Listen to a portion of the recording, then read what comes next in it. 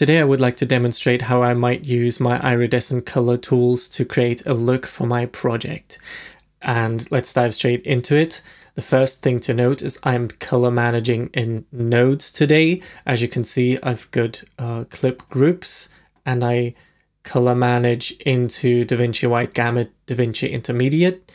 And then at the very end of my timeline, downstream of all of my look nodes, I've got a Rec 709 transform. So let's start with the first ingredient for my look today, and that's going to be a tone curve. And I'm using my Filmic Tone Curve DCTL for that. And I'm going to turn on Show Curve. I'm also going to turn on Inverted Curve so that we can see this curve a little bit better. And I'm just going to start dialing in some contrast. And as you can see, we get this really nice filmic S-curve type of contrast.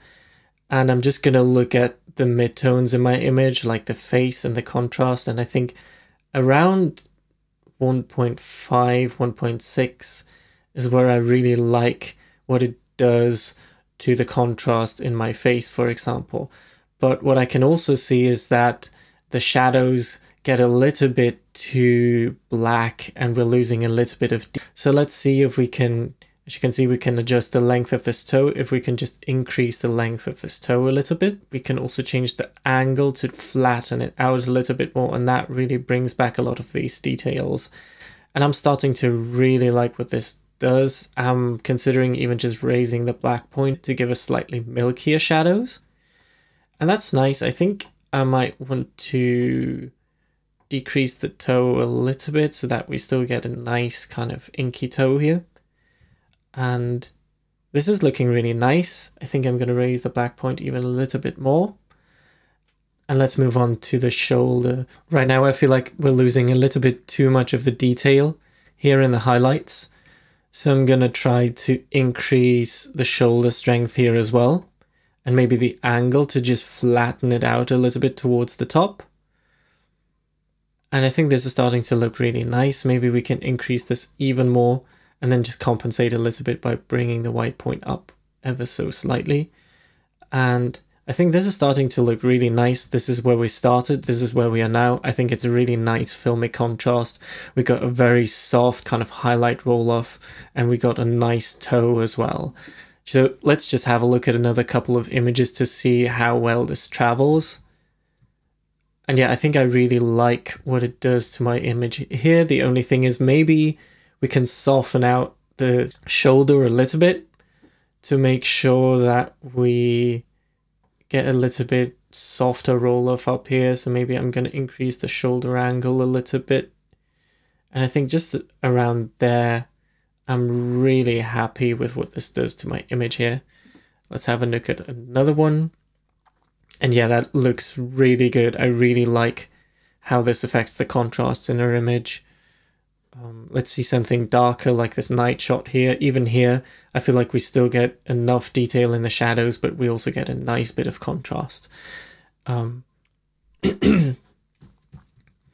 so let's move on to our second ingredient, and that is going to be split tone.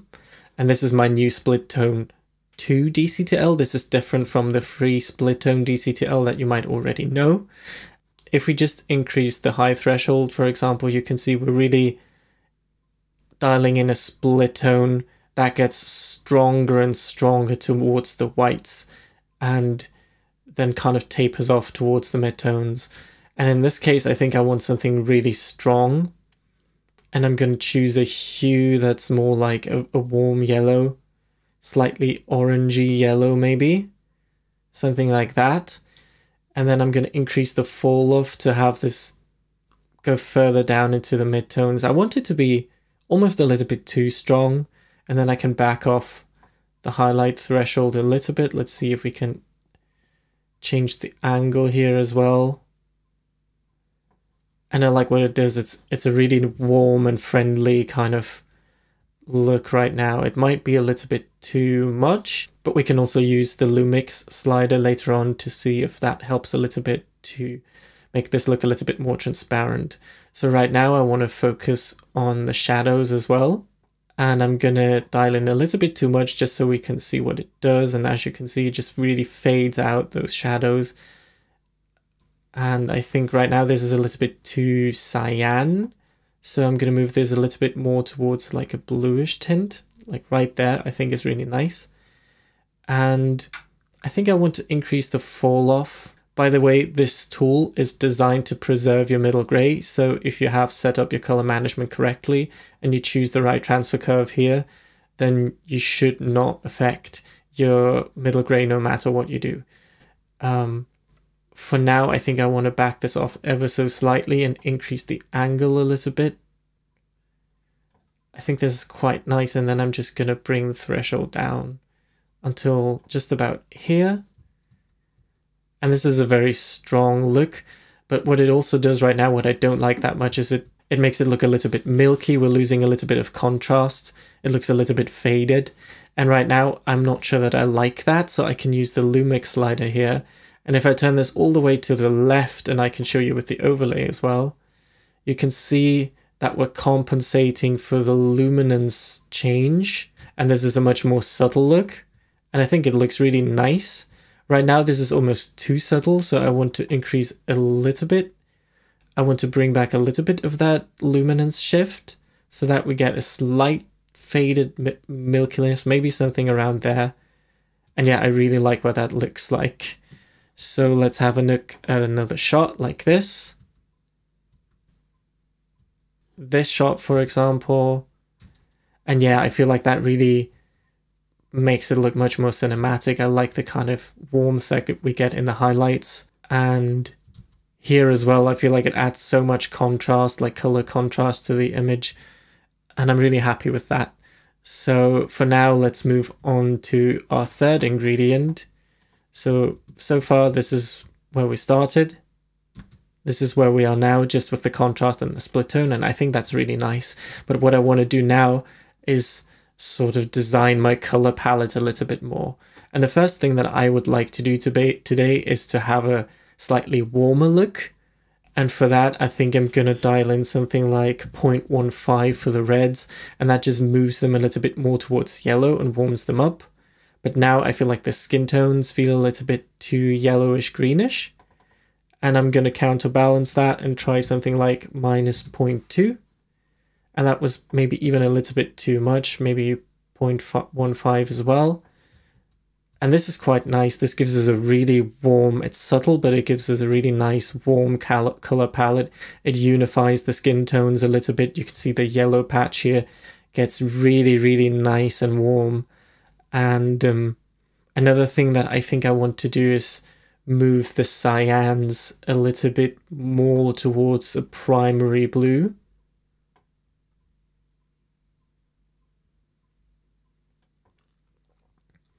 And I think the greens now look a little bit too yellowish as well, so I might move these a little bit further towards cyan to give us a little bit more contrast against the yellow and I think this is quite nice. So yeah, let's have a look how this travels to other shots. And especially in a shot like this, I really like how it warms up the image and gives us a very kind of summery feel to it. And so the next thing I want to do is I want to work on my densities a little bit. And what I want to do here today, I think, is I want to have slightly more density in the reds to give them a little bit more weight. And I think I want to use my tetrahedral mode today just because I like the saturation that it adds to the reds as well. Um, but what I'm seeing here is that it flattens out my skin tones. And I think what I want to do is sort of decrease the density in the yellow vector a little bit. And this is my density plus DCTL, which allows you to dial in negative density as well. And that, if we just turn this off and on, you can see we get more contrast in the skin tones and more texture overall. And I really like that.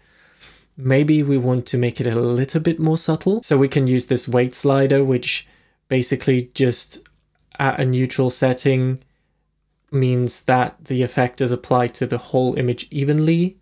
And if I move this to the right, it is effect affecting the darker parts of the image more than the lighter parts of the image. And I'm just going to dial this in a little bit so that we get a little bit more definition in the highlights. And then I could also use my weight pivot. I'm just going to increase the global density for a second so that you can see what it does. So you can sort of fine tune where that threshold is. And I think just around here, I really like how it affects the skin tones. And I think this is a really nice adjustment. It gives us just more density in the reds. And maybe the yellows are a little bit too bright now, so I'm just gonna take some of this out again. But still, I think now it's a very subtle but beautiful adjustment that I'm really happy with. Uh, let's see how this travels to this apple shot, for example. And here I really like the density and the sort of texture and depth that it adds to the apples as well. And the same is true here as well. I feel like it just adds so much. And as you can see, if you look at the gray ramp here, this isn't affecting the gray ramp at all. This is really just affecting the colors. And so my last ingredient for today is my Sat Shaper Plus. And if I turn on the curve, we can see a little bit better what we're doing. And I just want to dial in some vibrancy. So I just want to increase the colorfulness of the image. And then I want to lower my saturation to compress the saturation values and get a little bit more colorfulness in the not so saturated parts of the image so that we get a little bit healthier skin tones maybe while we're really not affecting these saturated colors. And I think I really like that. Now we can have a look if we prefer that in a more additive way and I really don't like what this does to my image right now. And the subtractive mode is maybe a little bit too harsh, so maybe somewhere in between the spherical and the subtractive is quite nice, somewhere here. And yeah, I think I'm just going to back this off ever so slightly. And I think this is my look for today. Let's go back and turn all of these uh, nodes on and off to see where we started and where we are now. And I think this is a really nice look. Let's try another image. This is where we started. This is where we are now. And that is all just using my iridescent color DCTLs. And I think this is quite an exciting result. I think that adds a lot to our images here. I really like the character and the cinematic character that it adds to our images. And um, I think I'm really happy with that and I hope you enjoyed this video. I hope that gave you a better idea of how to use my tools. Uh, feel free to leave me feedback if there's any more questions that you have or any complaints that you have about my process. And uh, that's it for today. Thank you so much for watching and I'll see you next time. Bye.